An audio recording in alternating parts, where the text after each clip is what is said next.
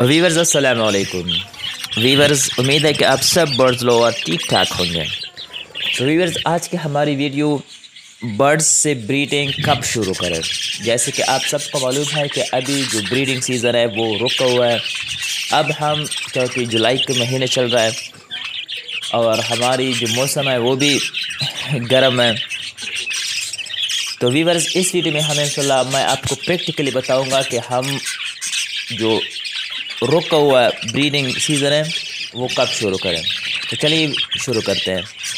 तो वीवर्स अगर आपकी कॉलोनी इसी तरह जो मेरी मिट्टी की बनी हुई है, इस तरह का अगर आपकी कॉलोनी भी है तो आप अभी से स्टार्ट करें। आप मेरी इस कॉलोनी की थोड़ा विज़िट करवाएँ। फ्रंट से जाली लगी हुई है साइड पे जाली लगी हुई है, उस साइड पे जाली लगी हुई है।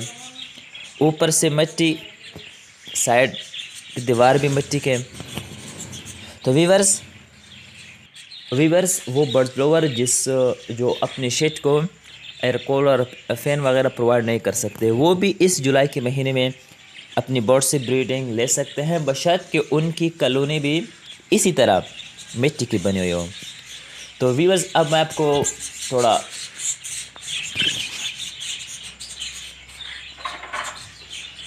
अपने बजिस पर और वीडियो पे फोकस करवाता हूँ कि आप देख सकते हैं कि मेरे बजेज़ जो जो ही मैंने उनको मटके लगवाए, बड़ी शौक से, उन आप देख सकते हैं कि बड़ी शौक से वो मटकों में जाते हैं बाहर मुँह खोले हुए, आप देख सकते हैं। अभी तकरीबन दस बजे का टाइम है दिन का। कलोनी चारों तरफ़ से खुली हुई है, ठंडी हवा इनको आती है। तो अगर आप भी इनसे अपनी बर्ड से ब्रीडिंग लेना चाहते हो तो इस तरह का कदूरी बनाओ। दोनों मौसम में मतलब सर्दी में भी, गर्मी में भी। गर्मी में ये मच्छी वाले सर्द होते हैं और सर्दी में ये मच्छी वाले गर्म होते हैं। तो इस तरह की कॉलोनी बनाओ और अपनी बजीज अपनी बोर्ड से हर मौसम में ब्रीड ले लो। वीवर्स अगर वीडियो अच्छी लगी हो तो लाइक और सब्सक्राइब ज़रूर कर देना।